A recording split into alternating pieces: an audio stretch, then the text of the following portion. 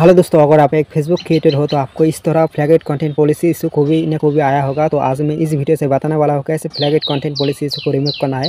तो इसलिए वीडियो को कंप्लीट देखो। अगर वीडियो अच्छी लगे तो लाइक और शेयर कीजिए। अगर आप ये वीडियो यूट्यूब से देख रहे तो मेरा यूट्यूब चैनल को ज़रूर सब्सक्राइब कीजिए।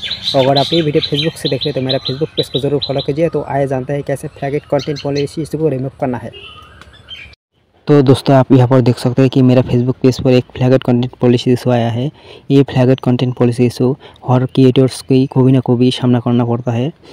तो आज मैं इस वीडियो से बताने वाला हूँ कैसे फ्लैगेट कंटेंट पॉलिसी इशू को रिमूव करना है।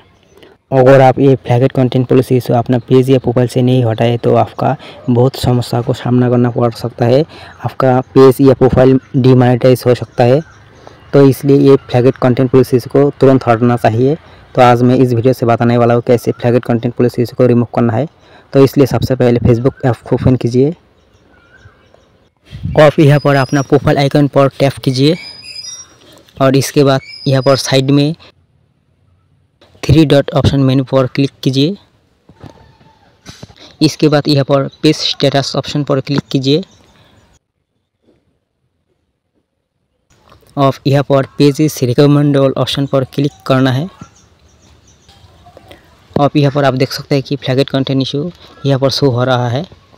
और आपको यहाँ पर मैनेज कंटेंट ऑप्शन पर क्लिक करना है।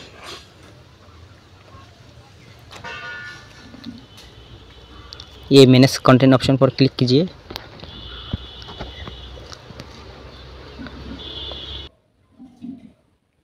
आप यहाँ पर नीचे देख सकते हैं कि ई टी फ्लैगेट ऑटोमेटिकली यहाँ पर क्लिक करना है। और आप यहाँ से देख सकते हैं कि आपका कौन सा कंटेंट पर फ्लैगेट कंटेंट पॉलिसी से आया है। आपको जिस कंटेंट पर फ्लैगेट कंटेंट पॉलिसी से आया है, उसको तुरंत डिलीट कर देना है।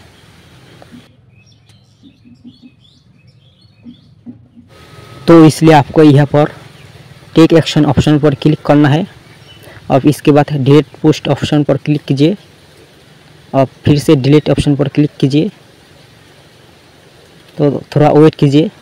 और यहाँ पर देख सकते हैं कि page has no issue and page is recommended यानी आपका पेज या प्रोफ़ाइल का flagged content policy issue remove हो गया है।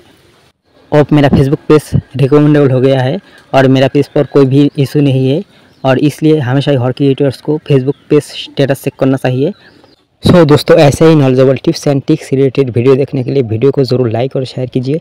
और अगर आप ये वीडियो यूट्यूब से देख रहे हैं तो मेरा यूट्यूब चैनल को ज़रूर सब्सक्राइब कीजिए। अगर आप ये वीडियो फेसबुक से देख रहे हैं तो मेरा फेसबुक पेज को ज़रूर फॉलो कीजिए। थैंक यू ऑल फिर मिलेंगे अगले वीडियो में।